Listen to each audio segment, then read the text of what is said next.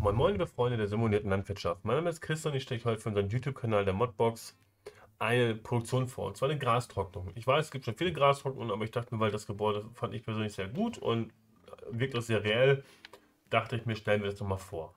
Ähm, der Mod selbst kommt von FIB7 und sagt selber in seiner eigenen Mod-Beschreibung, dass dieser Mod auch für alle Plattformen zur Verfügung steht. Also auch alle ähm, äh, PC, Mac ist klar, PS4, PS5, Xbox One, Xbox Series, auch ihr könnt euch diesen Mod natürlich dann ähm, ja, gönnen.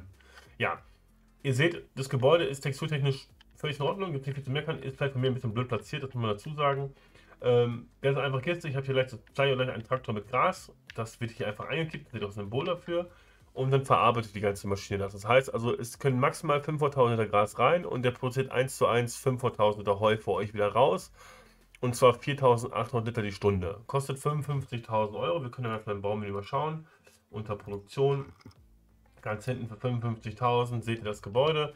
Ähm, 50 Euro pro Tag und Betriebskosten 2 Euro die Stunde. ja. Wenn wir jetzt hier reingehen, seht ihr im Menü, ne? Gras rein, Heu raus. Wir können es schon mal aktivieren. Jetzt sagt vielleicht äh, Güter fehlen, aber die füllen wir gleich ein. Und hier hinten habt ihr dann quasi dann den, äh, die Funktion hier könnt ihr quasi getrocknete Heu dann quasi abholen. Wir können mal einsteigen hier in den John Deere, den guten 7R.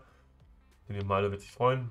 Wir fahren mal auf die Plattform, dann müsste der, der, das Zeichen kommt zum Abladen. Da ist es auch schon. Jetzt laden wir 22.500 Liter ähm, Gras in die Anlage rein.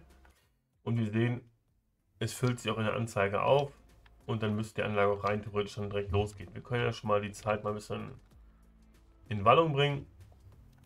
Und ihr seht, es wird direkt produziert. Wir fahren mal einmal um die Haustür rum, damit ich das Endland auch kurz zeigen kann.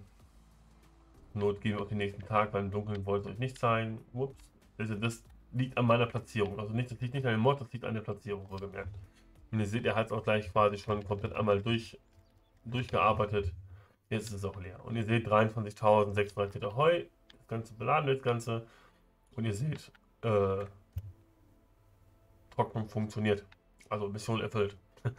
Nein, also von den Bodentexturen macht euch nicht verrückt, das kommt von mir. Das ist, äh, ich habe es einfach hier wild reinplatziert auf meiner Mod-Vorstellungsmap, sage ich jetzt mal.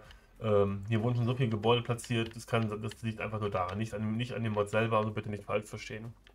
Ja, sonst wird, äh, was auffällt, ab und zu diese kleinen grünen Spuren, ne? einmal hier quasi die Beleuchtung, das Schild, ne? taucht immer wieder auf, diese Farbton.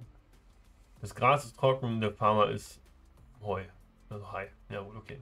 Lassen wir mal so da stehen.